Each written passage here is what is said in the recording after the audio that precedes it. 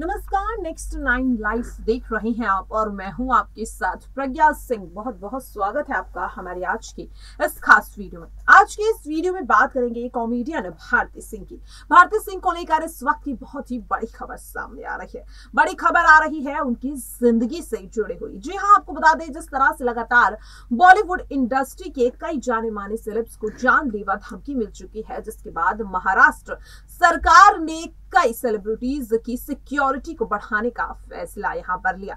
और अब इसी बीच कॉमेडियन भारती सिंह की ज़िंदगी पर खतरा मंडराता हुआ नज़र आ रहा है। आखिरकार ऐसा क्यों कहा जा रहा है कि भारती सिंह की ज़िंदगी को खतरा है?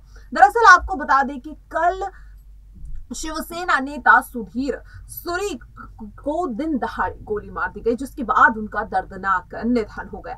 इस मामले में पंजाब पुलिस, अमृतसर पुलिस छानबीन कर रही थी और यहाँ पर जो, जिस शख्स ने सुधीर सुरी पर गोलियाँ बरसाई, उसकी गाड़ी से पुलिस को कॉमेडियन भारती सिंह की तस्वीर मिली है। जिसके बाद अब यह अंदाज़ा लगाया जा रहा है कि शायद भारती सिंह की ज़िंदगी पर भी खतरा मंडराता हुआ नज़र आ रहा है।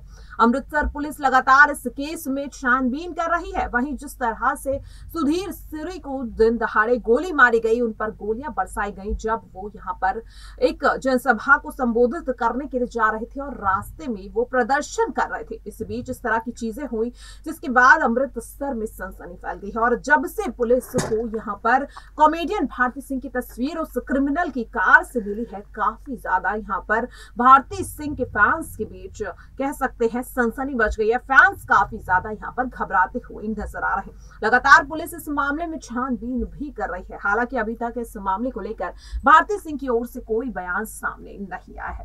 फ़िलहाल के लिए इस वीडियो में इतना ही। मुझे दीजिए इजाज़त। नमस्कार।